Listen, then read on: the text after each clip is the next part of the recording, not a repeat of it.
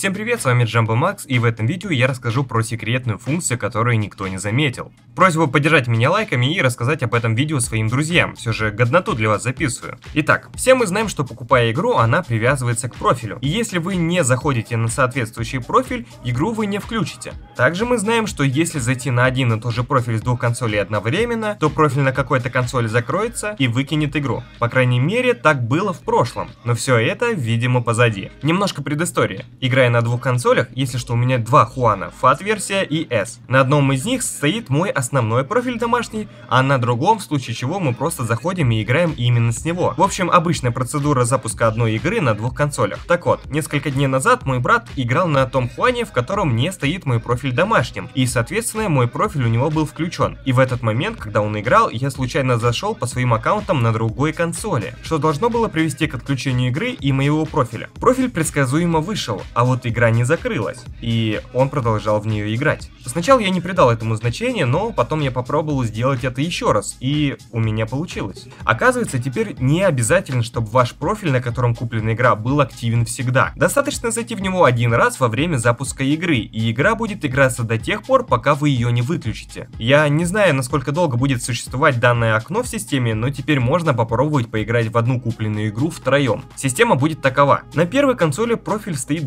домашним, Соответственно, играем через другой профиль. На второй консоли мы заходим на профиль с купленной игрой и также заходим на свой профиль и включаем игру. На третьей консоли, после того как процедура была выполнена на второй консоли, мы просто врубаем профиль, на котором куплена игра. Тем самым закрываем профиль у второй консоли, но не закрывая при этом игру. Лично у меня не имеется третьей консоли, но я хотел бы вас попросить провести данный эксперимент. Если вы с кем-то вдруг покупаете игры на двоих и у вас есть еще один товарищ, то попробуйте дать ему профиль с купленной игрой.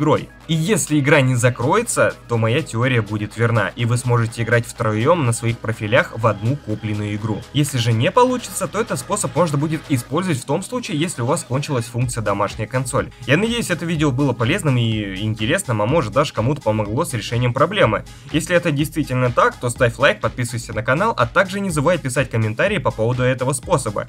Если кто вдруг проведет такой эксперимент, то отпишитесь в комментариях, пожалуйста, я буду ждать. И да, еще на колокольчик нажми, чтобы не пропустить следующее видео. Ну и еще одно. Приглашаю вас на мой стрим, который состоится 10 ноября в полночь. Будем вместе смотреть XO и обсуждать все, что нам покажут. Спасибо за просмотр, до новых встреч.